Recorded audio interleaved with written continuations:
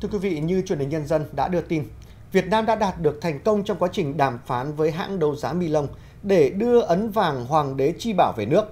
Đây là tin vui với ngành di sản và những người yêu mến quan tâm tới di sản của Việt Nam. Tuy nhiên, bên cạnh những cổ vật đã được đưa về Việt Nam, vẫn còn nhiều báu vật khác đang lưu lạc và chờ đợi được trở về cố hương. Trong chuyên mục tâm điểm ngày hôm nay, biên tập viên Hoài Thu sẽ chia sẻ với chúng ta cụ thể hơn về câu chuyện này. Xin mời chị. Vâng, cảm ơn chị Hoàng Trang và anh Thanh Tú. Thưa quý vị, mặc dù chúng ta chưa có một thống kê cụ thể nào, nhưng nhìn vào số lượng khá khiêm tốn các cổ vật được trở về Việt Nam thì rõ ràng còn rất nhiều cổ vật khác vẫn đang lưu lạc ngoài lãnh thổ quốc gia. Trong những năm qua, nhà nước cùng với các tổ chức hay là cá nhân đã rất nỗ lực và đạt được một số thành công nhất định trong việc đưa cổ vật về quê nhà. Tuy nhiên, đằng sau đó, hành trình đưa cổ vật hồi hương vẫn còn rất nhiều gian nan. Việc hồi hương cổ vật được thực hiện qua nhiều kênh khác nhau, như mua trực tiếp, đấu giá, hiến tặng, trao trả cổ vật thu được từ các cuộc điều tra buôn bán trái phép và đàm phán bằng con đường ngoại giao văn hóa, dựa trên những cam kết quốc tế và quy định của các bên. Việc lựa chọn giải pháp phụ thuộc vào từng trường hợp cụ thể. Trong số các con đường hồi hương cổ vật, hình thức đấu giá vẫn là một trong những con đường ngắn nhất để di sản trở về với quê hương. Nếu chúng ta sử dụng cái nguồn lực ngân sách của nhà nước thì chúng ta bị ràng buộc bởi rất nhiều chính sách mà chúng ta làm cho chúng ta không thể linh hoạt được. À, do đó phần lớn các cái cuộc đấu giá nếu mà các tổ chức nhà nước tham gia thì đều là thất bại cả. Đây là cái điều hiển nhiên thôi. À, chính vì vậy, nếu mà chúng ta huy động được các cái nguồn lực xã hội bên ngoài, không phải thông qua ngân sách, sử dụng một cái cơ chế linh hoạt hơn, thì cái khả năng thành công sẽ lớn hơn rất nhiều. Ở một cái quốc gia mà dù giàu có đến mấy đi chăng nữa, thì cũng không đủ sức để mà có thể hồi hương những cái di sản nhưng mà trên cái lĩnh vực ờ, hồi hương này thì phải nói là chúng ta rất là bị động, vì nó thực sự nó là mới, thực sự nó là khó, và chúng ta chưa đầu tư để mà chúng ta đánh giá được những cái tài sản của chúng ta hiện nay đang ở nước ngoài là những cái tài sản gì và đến cái trên cái cơ sở đó là chúng ta chủ động ờ, để mà có thể nắm bắt được tất cả những cái động thái di chuyển của nó. Ngay cả với chiếc ấn vàng Hoàng đế Chi Bảo, dù đã thành công trong việc đàm phán thông qua con đường ngoại giao văn hóa, hai bên đã thống nhất chuyển giao ấn vàng cho Việt Nam trên tinh thần đồng thuận, thấu hiểu và mối quan hệ hợp tác hữu nghị giữa hai nước Việt Nam và Cộng hòa Pháp. Tuy nhiên, phía sau sự thành công đó là cả một quá trình nhiều gian nan và khó khăn. Phải nói rằng là đấy là một cái cái điều kiện rất là khó khăn để mà có thể làm thế nào trong một thời gian rất ngắn chúng ta có thể thương lượng để người ta hiểu và người ta mà lại cái khoảng cách địa lý lại xa xôi để người ta có thể hiểu người ta hoãn. Bởi vì trước khi chúng tôi lên đường thì đã phải đạt được cái thỏa thuận là hoãn cái phiên đấu giá đấy đã rồi thế thì ngoài ra thì theo quy định pháp luật của hai bên thì nó cũng phải đảm bảo tuân thủ. Thế thì đấy cũng là những cái khó khăn mà chúng tôi gặp phải và trong cái quá trình đàm phán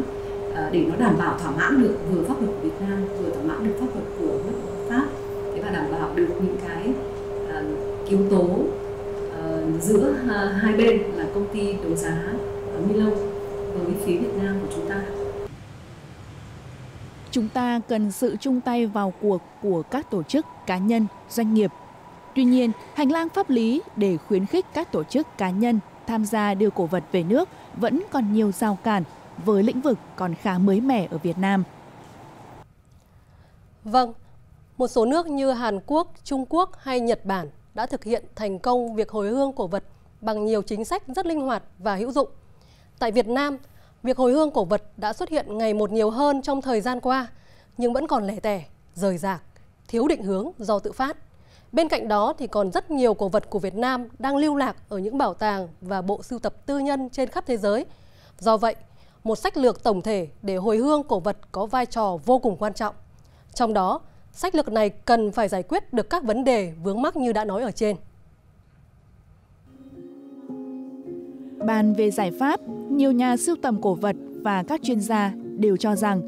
trước tiên chính là phải có một cơ chế chính sách phù hợp, hành lang pháp lý thông thoáng để thu hút nhiều doanh nghiệp hay các nhà đấu giá tư nhân cùng chung tay trong hành trình đưa cổ vật về cố hương. Thì về luật di sản Việt Nam như các bạn biết rồi, thì chúng ta khuyến khích mang cái cổ vật, mang dấu ấn văn hóa quý của Việt Nam từ nước ngoài về chứ. Có ai cấm đâu nhưng để nó đi vào cuộc sống để nó mọi người người ta hào hứng người ta thích làm cái việc này bằng tiền bạc của người ta bằng công sức của người ta bằng trí tuệ người ta phát hiện ra thì tôi cho cái đó phải phải đi một bước nữa Mặt khác, cần có chính sách khen thưởng phù hợp đối với các cá nhân, tổ chức góp nhiều công sức trong hoạt động hồi hương cổ vật để lấy đó làm động lực và lan tỏa thành hoạt động có ý nghĩa trong cộng đồng. Đồng thời, các chuyên gia văn hóa cũng cho rằng rất cần một chiến lược phù hợp để tôn vinh cổ vật, cũng là tôn vinh văn hóa Việt Nam. Qua đó, người dân Việt Nam có thêm tình yêu, niềm tự hào và trách nhiệm với cổ vật Việt. Sau ấn vàng Hoàng đế Chi Bảo, Bộ Văn hóa, Thể thao và Du lịch đã có kế hoạch giả soát, thống kê, lập danh sách các cổ vật đang lưu lạc và bị đưa trái phép ra khỏi lãnh thổ Việt Nam để cùng với các tổ chức cá nhân tìm mọi cách đưa trở về quê hương.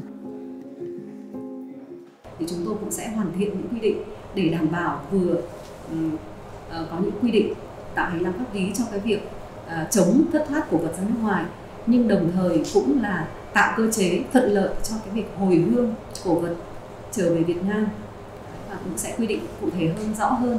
để cũng làm huy động nguồn lực của các tổ chức cá nhân nguồn lực xã hội hóa trong cái hành trình hồi hương các cổ vật ở Việt Nam thuận lợi hơn và hiệu quả hơn mình hy vọng là từ đây sau ấn vàng thì chúng ta sẽ tiếp tục uh, hành trình lần lượt hồi hương được nhiều cổ vật có giá trị của Việt Nam để về nước. Vâng, cổ vật là tài sản, là giá trị biểu tượng của lịch sử dân tộc. Vì vậy, bảo vệ và tìm mọi con đường để đưa cổ vật về nước không chỉ là công cuộc tìm lại hiện vật xưa cũ mà còn là hành trình tôn vinh các giá trị quý báu của văn hóa, lịch sử Việt Nam, khẳng định vị thế quốc gia, dân tộc.